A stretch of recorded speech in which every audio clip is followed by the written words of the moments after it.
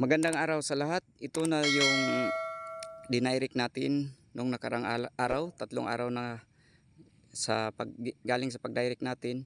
Ito na nag ah, tawag dito sa amin, nagtawgi na o nag-sprout na ang ating binhi na ating uh, dinirect. Ito na guys. So dapat ngayon tatlong araw na kasi galing sa pag-direct natin ay mag-apply na tayo ng pang seeds, ah liso ng mga weeds. Pero hindi tayo makapag-apply dahil may ibang trabaho tayo. So hindi tayo makapag-apply, bukas na tayo makapag-apply.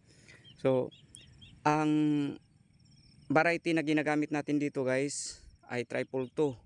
So triple 2 ang ma- kalamitang ginagamit pag mag-direct dito sa amin. Kasi po, ano to, ah, parang ah, ah, mas mataas ang kanyang recovery dito.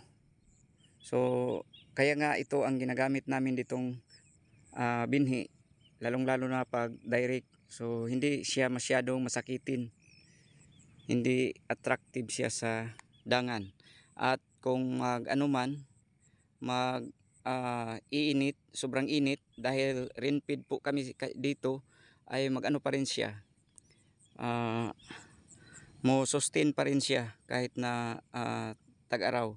So, ang advantage guys, kung mag-direct seeding tayo, hindi na tayo mag-transplant, makasisave tayo sa ah, gasto ng pag ano ng binhi, pag ibot no? Pag-ibot at saka pag tanim, pag transplant. Kasi ang ibot dito sa amin sa binhi, tag 2 pesos bawat isang but, ah, bugkot o tali.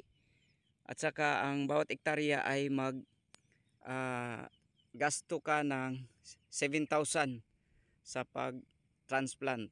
So dito sa direct, hindi ka na maggasto pa sa pag ano, pag ah, ibot ng binhi at saka pagtanim, pagtransplant dahil eh direct lang pag ano, pag ibot, ah, pag hawas ng similya, pag ah, kuha ng similya sa tubig, tatlong araw, eh, pwede na nimong, pwede ka nang mag, ano, mag sabod sa amin, tawag sabod o direct. So, diretso na. So, yun, nakaka-save ka. Ang ano lang, dito sa direct, disadvantage, may disadvantage din. Times 2 ang binhi na gagamitin mo. So sa isang ektarya kung magasto ka lang ng mag-budget ka ng isang bag na 40 kilos or sa arsip natin ay 20 kilos. So i-times 2 mo.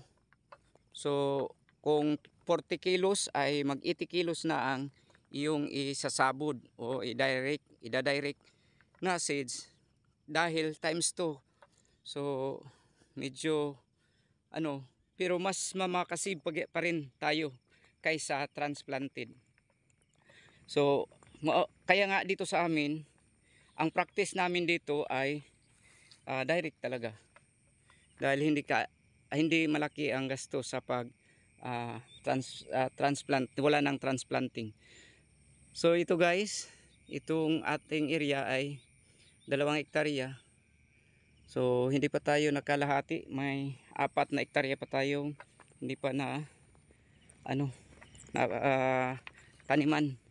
Hindi pa na dairykan so kukumbati na naman tayo pag may ulan. Rainfed po kami kasi kami dito guys. Nagantay lang kung may ulan. Kaya pag may ulan, bising-busy kami dito sa aming ah, palayan. Pero ongoing na ang aming irrigation dito sa amin guys may ano na may ah, ginagawa na na patubig ang niya dito sa aming area. So 1.3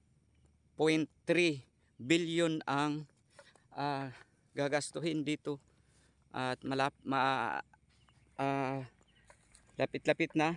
Nagdadam na sila sa ah, isang ano dito river.